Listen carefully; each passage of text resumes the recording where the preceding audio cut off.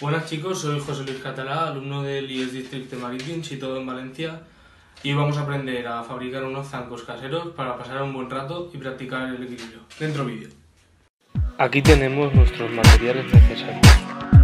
Procederemos a vaciar los botes y a limpiarlos. Y ya los tenemos listos para comenzar a fabricar. El primer paso que debemos realizar es pintar nuestros botes del color que más nos agrade. Una vez pintados los botes, cogeremos el taladro y le haremos los agujeros para pasar los cordones.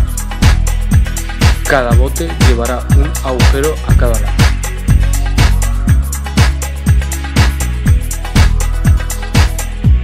Una vez realizados los cuatro agujeros, cogeremos nuestro paquete con los cordones e introduciremos un cordón por cada lado de los agujeros para cogernos de ellos al utilizar los zancos.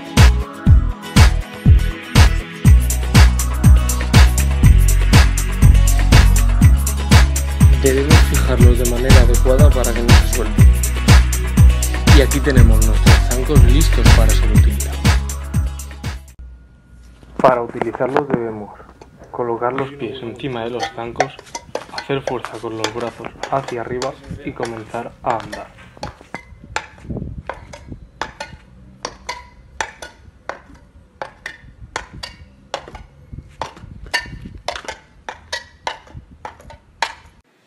You can.